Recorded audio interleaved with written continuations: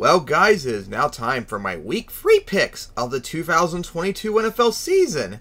And of course, last week I went 8 and 8, so ugh, very unfortunate, but that's just the reality of the situation. Wait, so many games last week, massive comebacks, of course, doesn't help me much. And of course, here is the playoffs, I mean, regular season playoff stands at the season end of the day. In the AFC, the Dolphins have the bye with Patriots and Chiefs the Ravens at Jaguars and Bills at Steelers. And the NFC, it's the Buccaneers with the bye, with Bears at Eagles, Gi- Packers at Vikings, and Giants at 49ers. And my Super Bowl prediction right now would be the Chiefs beating the Buccaneers. So, with that out of the way, it's time to get to my week free picks. So, anyways, we start off week free on Thursday night with the Steelers at the Browns as the Brown Steelers won the last two. The Browns haven't beaten them since 2020, and since after this game, these are the only two teams that have won. I mean, played a divisional game in the AFC North. Whoever wins this game will have the lead in the AFC North for the week. So very important for both of them. So for Steelers, lost a close one to the Patriots that they could have won and maybe should have, but offense did not show up, and the defense didn't show up as much as they did against the Bengals two weeks ago. Meanwhile, the Browns a 13 point lead with like just a barely over a minute left, and you still lost. I kind of wonder because I remember it was like 24 17 at one point if you missed the extra point, which had been the only reason because you that would have been stupid to go for a two pointer because the red zone did not show it at the time. So unfortunate choke for the Browns right there. They should have been 2 and 0, but they couldn't get it. So now it's gonna come down to honestly, will the Steelers defense probably show up more because the Browns have struggled against the Steelers the last, I mean, last year. Remember, Steelers, I mean, Steelers swept them. And honestly, both Browns games have been really close. You could make the argument they could have been almost 0 2 right now. So, even though I still don't think the Steelers are really good, knowing their history, I'm actually going to pick the Steelers for this one. And then watch the Browns will get it. Then we get to the 1 p.m. action. Starting off with the Saints at the Panthers. As the Saints won the last one, the Panthers haven't beat them since 2021, and the Saints haven't won in Charlotte since 2020. As the Panthers try to avoid 0 3 for the first time since 2010. So, anyways, the Saints, man, their defense did a good job against the Buccaneers, but then they completely and utterly choked as Winston threw three interceptions in the fourth quarter to give the Buccaneers the easy W and Brady's first win against Saints in the regular season. So, meanwhile, the Panthers, another close game, but they still just couldn't seal it against the Giants last week as they're 0 2. Don't really know what to say much about that though. So now, the last time these two played other at Charlotte, the Panthers, remember, destroyed them in week two. And unfortunately for the Saints, I think they've gotten worse so far. They've barely beat the Falcons on the comeback, and then they got humiliated by the Buccaneers when they completely choked in the fourth quarter. So, you know what? I actually will pick the Panthers for this one. Then it's the Texans at the Bears for the first time since 2020.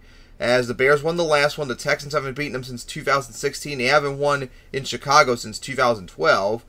So, anyways, the Texans almost had it against the Broncos almost pulled it off, which is incredible. Which begs the question are the Texans honestly overperforming this year? I mean, think of it. They, I thought they were going to get crushed by the Colts. They ended up tying them. I thought they were going to get crushed by the Broncos. They almost beat them. The Texans right now are playing way better than anyone probably thought they normally would. So, big surprise there to start the year so far. Meanwhile, the Bears, got humiliated by the Packers to nobody's surprise. That's why they should stop forcing on Sunday night all the time. So, a battle between two bad teams, one looking bad as normal, one actually looking a little bit better than expected right now. Who will get it? You know what? Since how the way the Texans have been playing, I'm going to pick them to get it. They've almost beaten two teams that we predict would be in the playoffs. Now they got to face a team that's terrible. Maybe this will finally be the time where they finally get that win. Then it'll be the Chiefs at the Colts for the first time since 2016. As the Colts won the last one, the Chiefs haven't beaten them since 2016, and it, and the Colts haven't won in Indianapolis since 2010 against them. As the Chiefs are trying to go to 3 0 for the first time since 2020. As the Chiefs hard fought game and a comeback too against the Chargers. They were down 17-7 at one point, remember, as they pulled it off. And the Colts, oh my god. The Jaguars curse continues on as they cannot beat the Jaguars in Jacksonville even though they're vastly superior. And then they got shut out too. Ouch.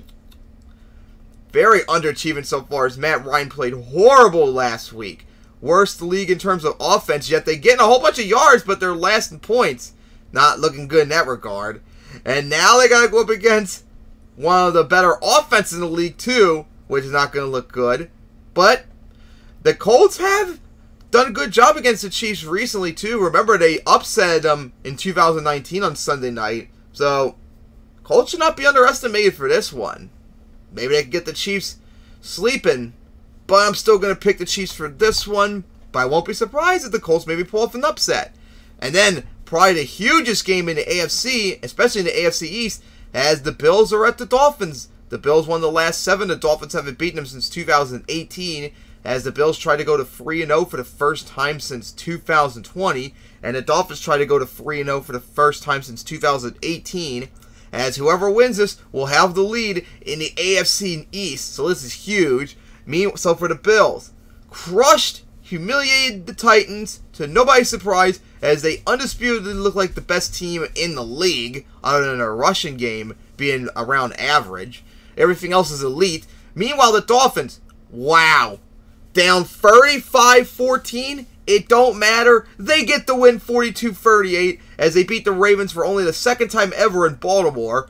As Tua looked like an MVP in that game. Six touchdowns after that slow start against the Patriots last week. Now, will the Dolphins actually show up as an offense this season, or was that just a fluke against supposedly, I mean, looking like a really bad Ravens defense? Unfortunately for them, they're going against a team that they've struggled massively in the last several years. Haven't beaten them in four years. Remember, the Bills shut them out last time they went to the Dolphins, 35 nothing. So, the and our defense is terrible too. So, despite the Dolphins' very impressive win against the Ravens, I'm still going to pick the Bills for this one. Then a big one, the NFC North, as the Lions are at the Vikings. As the Lions won the last one, the Vikings haven't beaten them since 2021, and the Lions haven't won in Minneapolis since 2017. And due to how the division setup's been so far, whoever wins this game, and depending on the Packers, will have the lead in the NFC North. And the Vikings win, they'll definitely have the lead in the NFC North because they'll have a tiebreaker over the Packers already. Yeah, actually, yeah, actually, whoever wins this will have the lead in the NFC North because they're undefeated in the division. So this is a huge for both of them. So the Lions, offensively, they're looking like good old 2011 again. And how about this? What? Lions third in rushing after two weeks. Even better their passing offense. What? Yeah, the Lions offense has been explosive so far. 35 points in plus in both games. Something like that hasn't been matched since I think like the 2015 2013 Broncos, although I think they yeah, they scored like 40 plus points in those first two games. So yeah, the Lions offense has been very very strong. Their defense though has been absolutely horrible. Meanwhile, the Vikings got completely destroyed by the Eagles as Kirk Cousins looked uncharacteristically horrible. Three interceptions looked terrible in that game. Definitely not a good start for them in that regard after they crushed the Packers in week one. So, very interesting game. And the thing is, the Lions, despite being terrible last year, they almost swept the Vikings, remember. The Vikings had to get a last second field goal when they hosted them earlier in the year before they lost to them in Detroit in December. So this game could go right down to the wire. And it's going to probably depend on if Kirk Cousins shows up and doesn't shit the bed. And more importantly, the defense shows up. Because that Lions defense is terrible, so they can easily be carved up. So I'm going to pick the Vikings for this one. But hey, I'm got a lot of momentum on the Lions side, so I wouldn't be surprised if they did get the win. All right. So now on to the next set of games is another big one, to AFC, as the Ravens are at the Patriots for the first time since 2020. Patriots won the last one. The Ravens haven't beaten them since 2019, and they have not beaten the Patriots in Foxborough in the regular season. All their wins were in the playoffs. So the Ravens humiliated themselves against the Dolphins. You had a 35-14 lead, and Lamar Jackson so far this year has looked really, really good, just like how he did in his MVP season. And yet your defense completely shit the bed against Tua, of all people, to let the Dolphins win.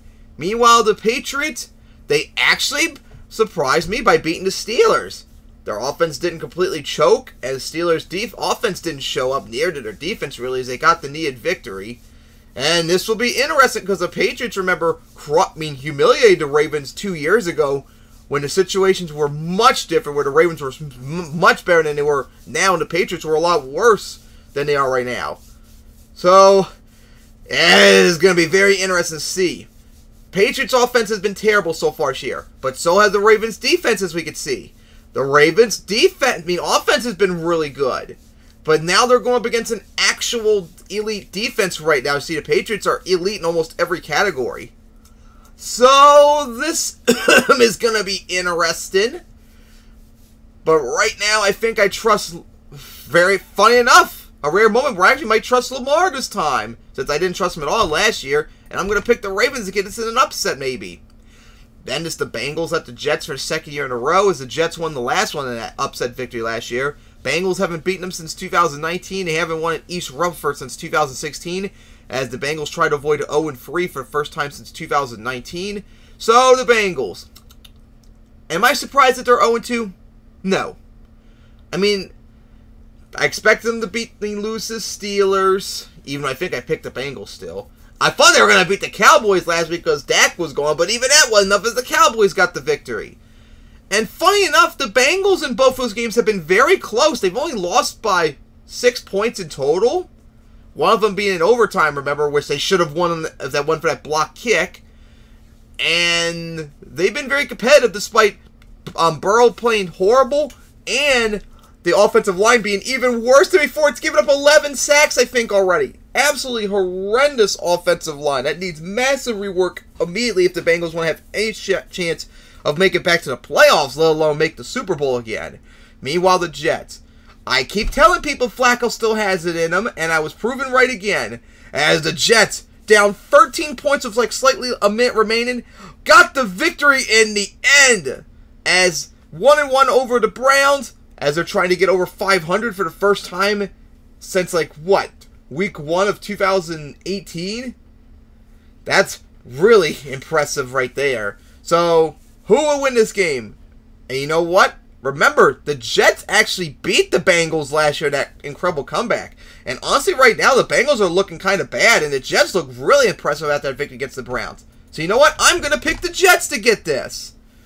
Then it's the Raiders at the Titans between two teams with losing records for the first time since 2017. Titans won the last one. The Raiders haven't beaten them since 2017, and the Titans have not won at home against them since 2010 between two playoff teams as the Raiders try to avoid 0 3 for the first time since 2018. The Titans trying to avoid 0 3 for the first time since 2009. So the Raiders you had it at, against the Cardinals. It was a 20 nothing lead at one point, and you choked it away with some incredible Madden like plays from Kyler Murray. Absolutely insane as the Raiders are 0 2, but to my surprise, no. Titans, meanwhile, no surprise you got crushed by the Bills. I'm really, really, really not surprised you lost that badly because you're not really that good of a team.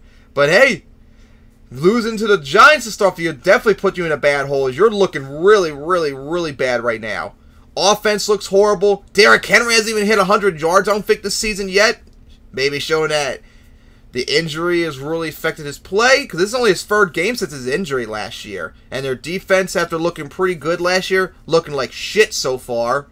So, boy, it's about between two underachieving teams right now that no one I think was surprised about. But you know what? I have a lot more faith right now in the Raiders, so I'm going to pick them to get it. All right. So then we get to the Eagles at the Commanders, as this is a big one in the NFC East. As the Eagles won the last two, the Commanders haven't beaten them since 2020. As the Eagles try to get the free no oh for the first time since 2016. Meanwhile, the Eagles crush the Vikings as they have one of the best offenses in the league, and their defense is playing solid. So far, definitely over um, overachieving for what I was expected. Meanwhile, the Commanders, they got crushed by the Lions. They were down 22 nothing at one point, remember? They made the Furies comeback, but they couldn't get in the end. So this is going to be an interesting game. First off, Carson Wentz going up against his former his Virgil team for the first time ever, which will be interesting to see. Now, both games, remember, last year were close. And the Commanders offensively, other than the rushing game, have been pretty elite, just like the Eagles. Defensively, though, they've been horrible.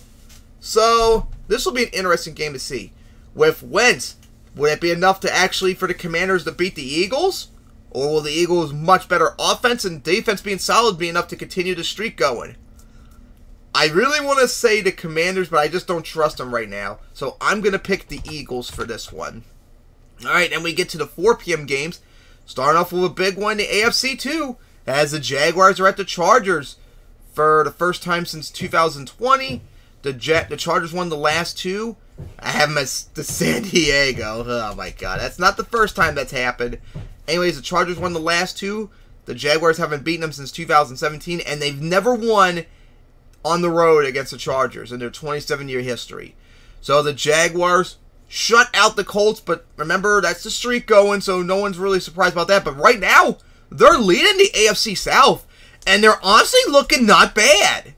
Right now, with the Titans struggling, the Colts struggling, the Texans being just 0 1, you gotta say right now the Jaguars might be the team to beat right now in the AFC South, which even I didn't expect that.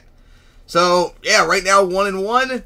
Meanwhile, the Chargers had a hard fought game, but they just choked against the Chargers last, I mean the Chiefs last week. Man, um, Herbert, if you didn't throw a pick six, maybe you could have gotten it. And of course, Herbert got hurt, which is not good whatsoever. But the Chargers, this actually could be very interesting to see. But I think I'm going to pick the Chargers still for this one. But watch out for the Jaguars. They're looking scary right now because remember, they almost beat the Commanders too, so they could have been 2 0 right now.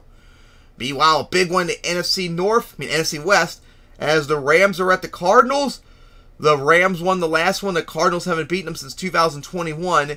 And the, they haven't beaten the Rams at home since 2014. Just like another weird streak going on, like with the Colts and Jaguars. So, the Rams last week, they beat the Falcons, but they had a 28 free lead at one point, and they almost choked it away. Only winning by four in the end. So, the Rams are definitely not looking good this year right now whatsoever. The Cardinals, meanwhile, they had a really huge needed bounce back, down 20 to nothing on the Raiders, and some voodoo magic from Kyler Murray to get the win in overtime to salvage their terrible start to the season. Their defense is horrible. Their offense is still pretty good. It seems to be mostly just their defense playing garbage. So you know what? With the Rams struggling right now, I'm going to pick the Cardinals for this one to finally end that streak.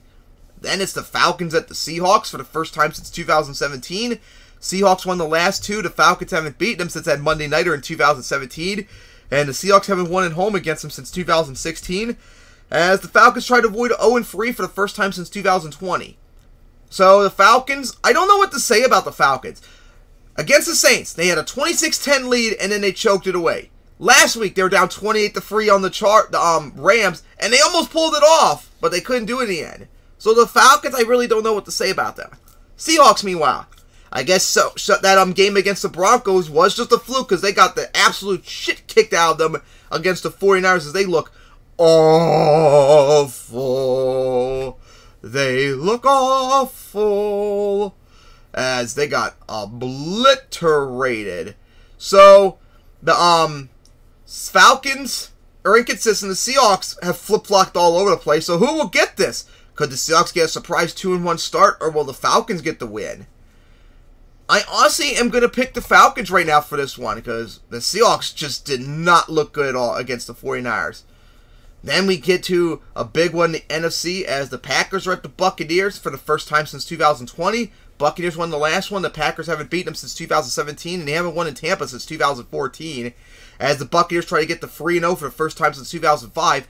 And I also think some of these, I think these stats for the Buccaneers are inaccurate. I think I did someone else by mistake because I don't think the Buccaneers' offense is that bad. But I'll get to that in a little bit. So the Packers got their tune-up game against the Bears. No one's surprised about that. And I also don't think the Buck, the Packers' stats are correct right here either. I don't think their offense is that bad. But they got that need win against the Bears as they're now going to visit the Buccaneers, which is not going to be easy. Meanwhile, the Buccaneers.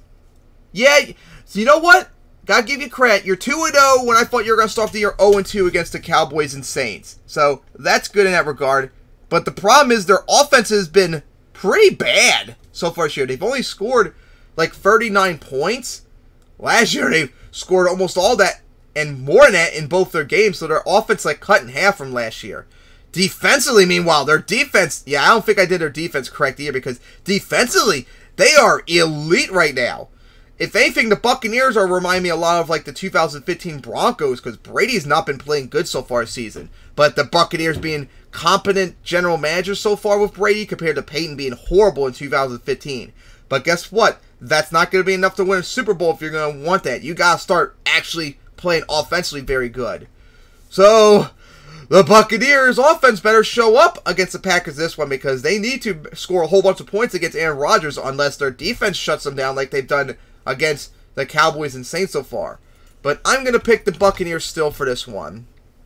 And then we get to Sunday night as it's the 49ers at the Broncos for the first time since 2014, which, by the way, that game was also Sunday night, too. 49ers won the last one. The Broncos haven't beaten them since that 2014 game. And the 49ers haven't won in Denver since 2006. So the 49ers got a right game against the Seahawks. They needed that to salvage their terrible start to the season. Meanwhile, Trey Lance, not only did he not play good so far this year, but he suffered a season-ending injury. So now Jimmy G is back. So the 49ers looking like geniuses to keep him now instead of trading him away, which I would have done.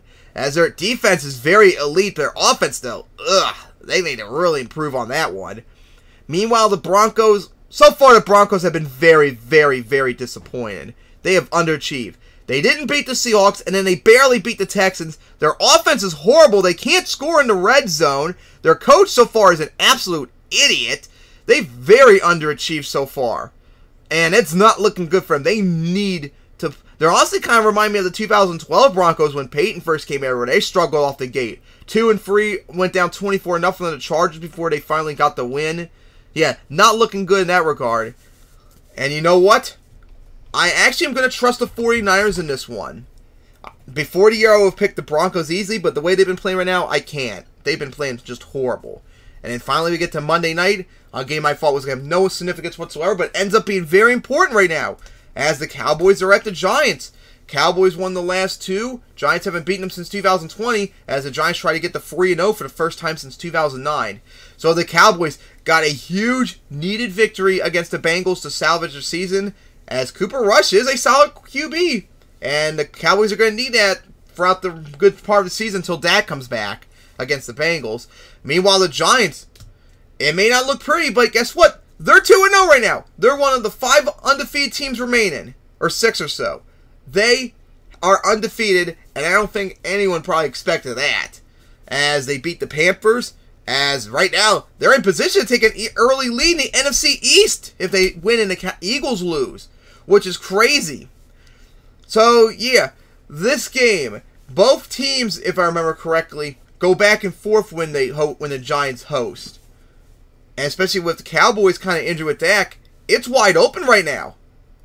And this might be crazy, but I'm actually going to pick the Giants for this one now.